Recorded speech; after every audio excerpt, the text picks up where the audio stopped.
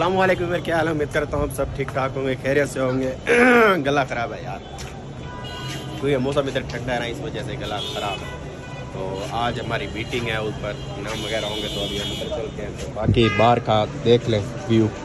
माशाल्लाह से बहुत प्यारा है। तो माशाल्लाह से व्यूअर व्यू देखें, बहुत प्यारा। वहाँ से देखें, बादल ऊपर उठकर ऊपर आ रहे हैं बादल। बाकी माशाल्लाह से बहुत ही प्यारा मंजर है। नीचे आवाम सारा दिन रश ही रश लगा रहता है। ये सब गाड़ियाँ रुकी खड़ी हैं, ये देखें। ये देखें, रश देखे, इतना रश ही रश है सारा। और ऊपर से पानी भी आ रहा है। यहाँ से पता नहीं कहाँ से आ रहा है। बारिश तो नहीं है, पता नहीं पानी कहाँ से आ रहा है। सुबह सुबह बारिश हुई थी, अभी ये देखें, माशाल्लाह से नीचे जूम करके आपको दिखाता हूँ। ये लोग फिर रहे हैं सारे मक्खियों की तरह ये देखें माशाल्लाह से बहुत प्यारा मंदिर है। रोड इधर दो दो तीन तीन घंटे बंद रहता है। ये देखें जैसे गाड़ी तीन तीन लाइनें लगी हुई हैं। ऐसे ये सारा दिन बंद रहता है रोड। हर एक गाड़ी को कम से कम 20 मिनट लग जाते हैं एक जगह से दूसरी जगह पर जाने ये देखें जब ये ये डाला खड़ा है ऐसे चलते चलते पता नहीं किधर घंटा लग जाएगा इसको अपनी जगह पर जाने। बाकी वो देखें, सारे बादल ऊपर उठ रहे हैं, आसमान की तरफ़ जा रहे हैं। अल्लाह की कुदरत है भाई, नीचे से बादल बन कर उठते हैं ऊपर। बाकी ये देखें, ये शहर है, यहाँ से ये बादल उठ रहे हैं। नीचे सारी आबादी है, लेकिन फिर भी यहाँ से बादल ऊपर उठते हैं। बाकी अबू वगैरह बाहर बैठे हैं, इंतज़ार कर रहे हैं लिफ्ट का। लिफ्ट ओपन भी नहीं हो रही। अभी तक नहीं आई लिफ्ट? अभी छः पर अभी तो ऊपर ही खड़ी है ताप से अभी तो नीचे कर चलो देखते हैं कब आती है और फिर ऊपर चलते हैं मीटिंग पर। तो सलाम कर दें सर। अस्सलाम वालेकुम चौधरी साहब आप भी सलाम कर दें। साढ़े बारह हो गया हमारे तो वीवर ये हमारा मीटिंग हॉल है। हम सब इधर बैठे हैं। मीटिंग होगी कंपनी की अद्वियात के बारे में। यहाँ हमको मालूम देंगे और यहाँ पर इनामत की तकसीम होंगे। और अभी छोटा बच्चे को एक बुलाया, उन्होंने देखते हैं कौन सा बच्चा जाता है और इनाम इकट्ठे करता है। वो देखें, बच्चा अभी चला गया एक एक करके वो तमाम पर्चियाँ उठाएगा। पहले दस मोबाइल हैं और फिर बाद में है जी कोई एक अदर टीवी और एक बम्पर प्राइज़ है डेढ़ लाख का। देखते हैं आप कौन सा खुश नसीब है जिसके ये इनाम निकलते हैं। बच्चा अभी एक एक करके पर्चा उठा रहा है, सब तीन डब्बे बनेंगे ना। तो तीनों डब्बों से वो पर्चा उठाएगा और फिर एक एक डब्बे में रखता जाएगा। फिर एक एक बंदे को बुलाएँगे, उससे पर्ची उठवाएँगे और फिर जिसका नाम होगा उसको बुलाएँगे और उनको इनाम देंगे। देखते हैं कि हमारे नसीब में इनाम आता है कि नहीं आता। अभी बैठे हैं। हम पीछे पीछे बैठ गए, आगे नहीं बैठे। तो बच्चा पर्चियाँ वगैरह उठा के आ गया है। वो अब छोटे डब्बों में रखेंगे। वही बम्पर प्राइज़ उठाने के लिए एक चाचा को बुलाया। वो चाचा बम्पर प्राइज़ उठा कर वो उनको एक देंगे। तो भी अभी किसी आदमी ने दो पर्चियाँ रख दी हैं। एक, दो पर्चियाँ, एक जैसे इनाम होता है ना, एक हमारे पास पर्ची होती है और एक डब्बे में होती है।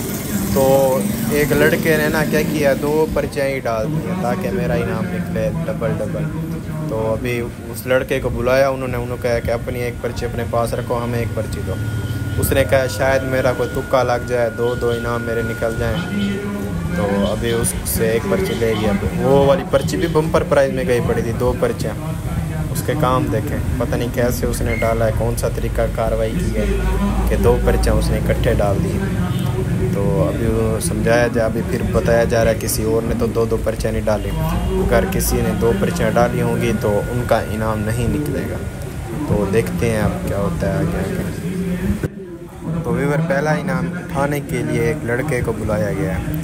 तो मैंने तो अबू को कहा कि पहला इनाम ही इन्हीं का निकलेगा। देखते हैं अब पहला इनाम किसका निकलता है। अभी इस बच्चे ने पर्ची तो उठाई है। देखें, ये आ गया। अभी ये इनाम निकालेंगे, देखते हैं किसका इनाम निकलता है कौन सा ऐसा खुश नसीब है। तो अभी देखते हैं चश्मा बैठे सी, माशाल्लाह टोपी पहन के बैठे हैं। ये लैया से मेरे ख्याल तशरीफ़ लाए, मुझे नाम नहीं आता इनका। तो इनसे गुजारिश है अगर तशरीफ़ लाए जनाब तो ये बम्पर प्राइस इनाम इनाम की जो एक पर्ची है, वो उठा रहे हैं। डेढ़ लाख का इनाम है, आप देखते हैं किस खुश नसीब का नाम आता है। तो इनाम तो इसका बात नहीं किया जाएगा। तो ये इसको अच्छे तरीके से हला लें जितना बड़ी इनाम है तो उतना ज़्यादा इसको अच्छे तरीके से आपको मिक्स करना चाहिए। क्या नाम है भाई आपका? क्या कहाँ से हैं? अब डेढ़ लाख का इनाम है देखते हैं पता नहीं कौन नसीब। पता नहीं किस खुश नसीब का नाम है। आएगा इसमें आगे जाकर हमें पता चलेगा इंशाल्लाह। चले जी ये हमने जो आज के हमारे इनामात हैं, उनकी हमने पर्चा निकाल दिए आप लोग के सामने रख दिए हैं आपने उन पे नज़र भी रखनी है। तो व्यूअर अबू वगैरह तो साहब मीटिंग में बैठे हैं, मैं बाहर आ गया हूँ बदरी छोटे भाई की कॉल आएगी थी वीडियो वो कहता था, मुझे माहौल दिखाओ। तो मैंने माहौल दिखाया। तो ये देखें, माशाल्लाह ऊपर ऊपर आए हुए हैं, हम अब होटल के। ये व्यू है। माशाल्लाह, बड़ी चहल पहल और रौनक वो प्यारी। ये देखे viewer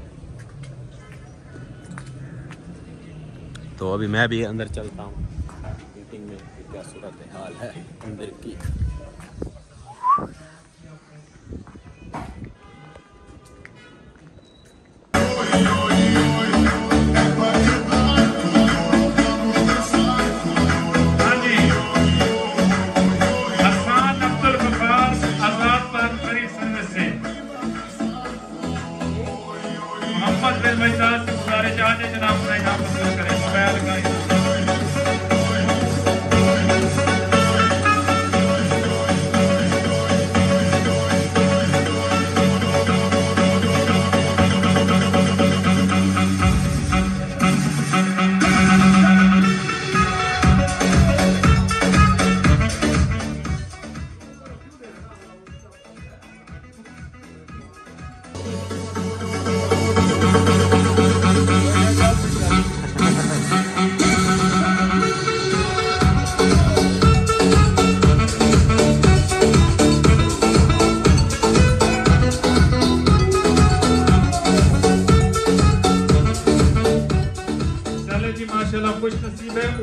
Abdullah agro trader Mahmudpur शहर sorry Ubaid agro trader Mahmudpur बोली भाई वही क्या बोल सकते हैं बस आए हैं